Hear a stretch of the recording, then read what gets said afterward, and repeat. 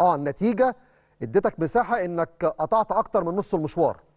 حتى النهارده باستقالة الكابتن نبيل معلول المدير الفني للترجي يمكن نزل بيان رسمي على آه، صفحته الشخصية عبر الفيسبوك وأعلن إن هو خلاص بيعتذر عن استكمال المهمة بعد الخسارة اللي وصفها طبعا ووصفها أكتر من مسؤول في الترجي إن هي كانت كبيرة جدا على فريق باسم الترجي في تونس. كابتن نبيل كتب على صفحته وهو قدامكم على الشاشة. البوست اللي نزل على الصفحة الرسمية قال فيه أتفهم حزن وخيبة الترجيين بعد هذه الخسارة الصعبة وأعتذر لكافة الجماهير عن عدم تمكننا من إدخال الفرحة ليلة أمس في قلوب جماهيرنا العريقة.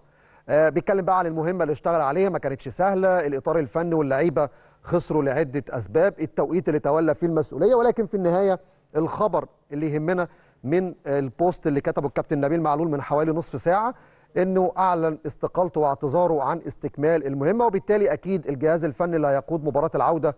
هنشوف بقى إدارة الترجي هتكمل بالجهاز المعاون ولا ممكن يكون في استعانة بأحد أبناء الترجي السابقين. بغض النظر عن كل التفاصيل دي الأهلي لسه ما ضمنش بنسبة 100% التأهل. فإن شاء الله بإذن الله لقاء العودة يكون فيه مكسب مهم جدا الأهلي يكسب. عشان دي بتبقى رسائل على فكرة للفرق المنافسة. أنا فاكر يوم مباراة الهلال وصن داونز كتير جدا من الزملاء قالوا وقتها لو الأهلي صعد بعد تعادل الهلال وصن داونز أو فوز صن داونز الكلام ده اتقال قبل المباراة والمباراة كلنا عارفين انتهت واحد واحد. كل وقتها قال لك إيه؟ عش الدبابير هيتفتح على كل الفرق المنافسة. إذا بعث الأهلي من جديد لدوري أبطال إفريقيا فأكيد الأهلي موجود في ال final. يكفي إن الناس انطباعها الداخلي عن النادي الأهلي بالصورة دي وبالشكل ده. ده مهم جدا نفسيا وأنت بتواجه أي فريق منافس على المستوى النفسي والاعداد الذهني. لما فرقة بتنزل بتلعب الأهلي حتى لو متصدرة المجموعة بتاعتها حتى لو جايبة 20 هدف حتى لو ما دخلش في مرماها أي هدف حتى لو كسبانة الست مباريات. ولكن مجرد إن هي بس هتلاعب الأهلي في الأدوار النهائية بتعمل لك ألف حساب.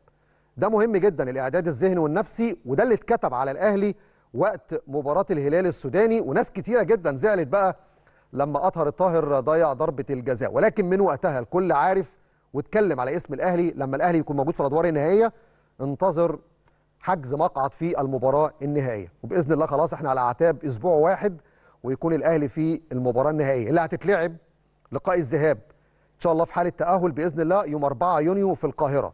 لقاء العودة يوم 11 يونيو يا إما في المغرب في حال تأهل الوداد أو جنوب إفريقيا في حال تأهل سان داونز والنهارده لقاء الذهاب ما بينهم في مركب محمد الخامس. هنتعرف ونتابع بالتأكيد لقاء النهارده ولقاء السبت المقبل عشان نشوف الفريق المنافس بالنسبة للنادي الأهلي.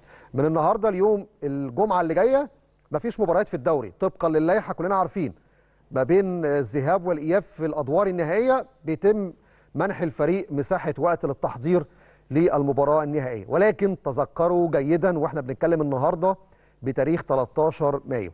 إن شاء الله بإذن الله الأهلي في نهائي دوري أبطال إفريقيا. وفي حاله تواجد في النهائي بنسبة 100% أعتقد بنسبة كبيرة جدا الدوري العام سيمتد حتى النصف الآخر أو النصف الثاني من شهر أغسطس.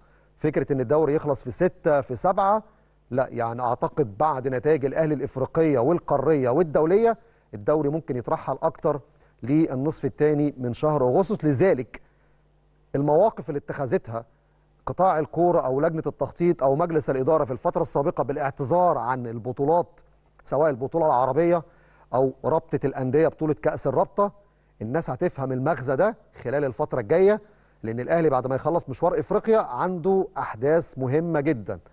هيلعب دوري عام هيبقى فيه ضغط ماتشات. وقتها ممكن الدوري يتوقف بسبب البطولة العربية هل هتتلعب؟ ده من نص سبعة لآخر لأول ثمانيه كل الظروف دي أكيد الناس هتفهم بقى مغزى الأهلي من الاعتذار عن كأس الرابطة والبطولة العربية أهدافها إيه وأهميتها إيه للموسم اللي جاي. واللي الأهلي هيبداوا نركز في الكلمتين اللي جايين دول. الأهلي بإذن الله بعد ما يخلص الموسم الحالي هتكون أول مباريات الأهلي في الموسم الجديد دوري السوبر الإفريقي.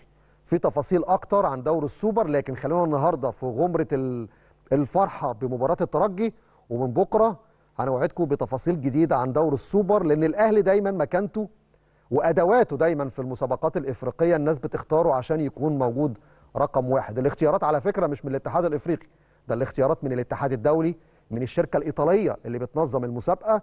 فالقصة بقى ليها علاقة بتفاصيل تسويقية وجماهيرية ومستوى فني وفرقة بتشرف بجد. فرقة تشرف فرقة تشرف إفريقيا فرقة تشرف مصر فرقة تشرف العرب.